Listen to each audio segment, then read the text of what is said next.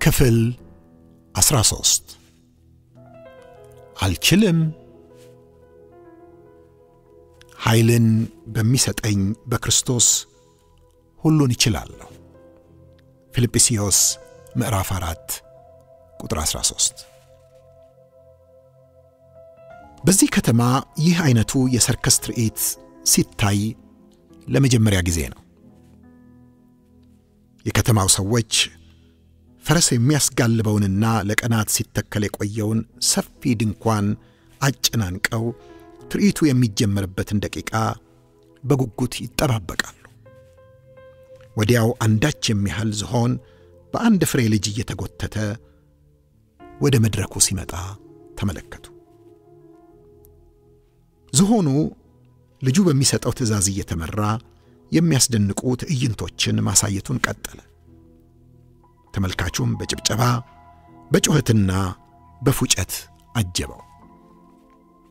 ሆኖም ከተመልካቾቹ መሃል አንዱን የመሰጠው ከዝሆኑ ትርኢት ጀርባ ያለው ሌላ እውነት ነው።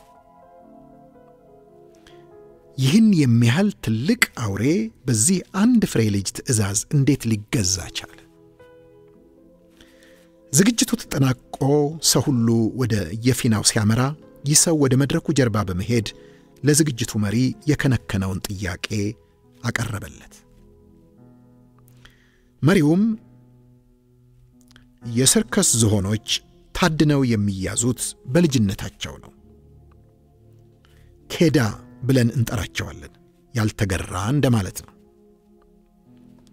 ኩሚስ ወይም ለማዳ እስኪሆኑ ድረስ ስቃይ በሞላበት ሥልጠና ውስጥ እናሳልፋቸዋለን። ከሥልጠናዎቹ አንዱ በሁለት ዛፎች መሃል ፈጽሞ ሊበጠስ በማይችል ጠንካራ ገመድ እናስረውና ምግብ ብቻ እየሰጠን ለረዥም ጊዜ እንተወዋለን። ያልተገራው ወጣት ዝሆን ለመጀመሪያ ጊዜ የታሰረበትን ገመድ ለመበጠስ ባለ በሌለ ኃይሉ ሲታገል ይከርማል። እየገረፍን ያዘዝነውን እንዲያደርግ እናስገድደዋለን። ካላደረገ ሕመሙ እንዲጸናበት እናደርጋለን። ከረጅም ጊዜ በኋላ እንፈታውና ከዚህ ቀደም ከተገሩ ወይም ኩሚስ ከሆኑ ዝሆኖች ጋር እንዲያሳልፍ እንተወዋለን። ውሎ አድሮ አእምሮው የታሰረበትን ገመድ መበጠስ እንደማይችል ስለሚያምን በትንሽ ገመድ ብናስረውም በጥሶ ለመሄድ አይሞክርም በማለት ተረከለት። እኛም ዛሬ የተገለጠልንን የእግዚአብሔርን ፈቃድ ለማድረግ ስንነሳ አትችልም፣ አትችይም የሚል ድምፅ ፈጥኖ ይከበናል። በልጅነታችን ከወላጆቻችን ከጎረቤቶቻችንና ከመምህራኖቻችን የሰማናቸው አሉታዊ ንግግሮች ሕሊናችንን ያጨናንቃሉ። የእኛም አእምሮ ይህንን ተቀብሎ ያስተጋባል። እኔ ጥቁር ስለሆን ቋንቋ ስለማልችል ድግሪ ስለሌለኝ የመጣሁት ከማይታወቅ ብሔረሰብ ስለሆነ እንዲህና እንዲህ መሆን አልችልም እንላለን። እነዚህ ድምፆች ድምፅ ብቻ ቢሆኑ ባልከፋ ነበር። ነገር ግን ከታሪካችን፣ ከገጠመኞቻችን፣ በዙሪያችን ካሉ ጠንቅቀን ከምናውቃቸው እውነታ መሰል ክስተቶች ጋር ተዛምዶ ስላላቸው ያለማመንታት እንድንቀበላቸው ጫና ያሳድሩብናል።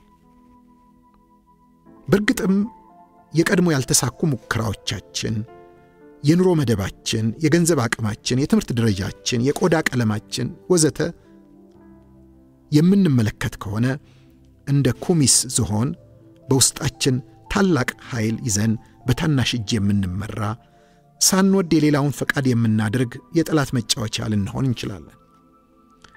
ነገር ግን በቀድሞ የሽንፈት ታሪካችንና በአሁኑ ውጫዊ ገጽታችን ሳንፈታ በውስጣችን ያለውን ከሁሉ የሚበልጥ ኃይል እርሱም ክርስቶስን ከተመለከትን አትችልም፣ አትችም የሚለንን የሐሰት ድምፅ ኃይልን በሚሰጠኝ በክርስቶስ ሁሉን እችላለሁ በሚል የድል ድምፅ ሽረን የተገለጠልንን የእግዚአብሔርን ፈቃድ በራሳችን ዘመን ፈጽመን ማለፍ እንችላለን።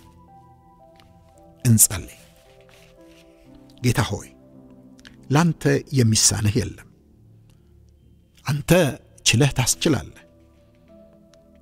ተቃውሞ በሞላበትና በማይመስል ሁኔታ ውስጥ ያለ ፍርሃት ፈቃድህን ማድረግ እችል ዘንድ በፍርሃትና ባለማመን ከተያዝኩበት ማንኛውም ሥጋዊ አስተሳሰብ ፍታኝ።